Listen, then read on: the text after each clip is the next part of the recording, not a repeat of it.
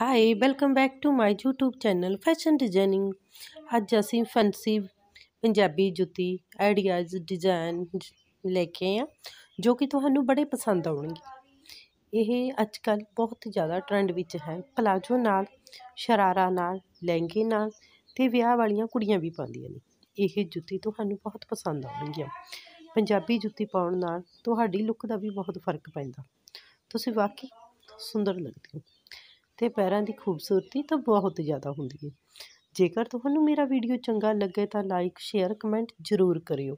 ਹਾਲ ਤੱਕ ਸਬਸਕ੍ਰਾਈਬ ਨਹੀਂ ਕੀਤਾ ਤਾਂ ਸਬਸਕ੍ਰਾਈਬ ਵੀ ਜ਼ਰੂਰ ਕਰਿਓ ਤਾਂ ਜੋ ਮੇਰੇ ਆਉਣ ਵਾਲੀ ਹਰ ਵੀਡੀਓ ਤੁਹਾਡੇ ਤੱਕ ਪਹਿਲਾਂ ਪਹੁੰਚ ਸਕੇ। ਵੀਡੀਓ ਚੰਗਾ ਲੱਗੇ ਤਾਂ ਹਰ ਇੱਕ ਨਾਲ ਸ਼ੇਅਰ ਵੀ ਜ਼ਰੂਰ ਕਰਿਓ। Thank you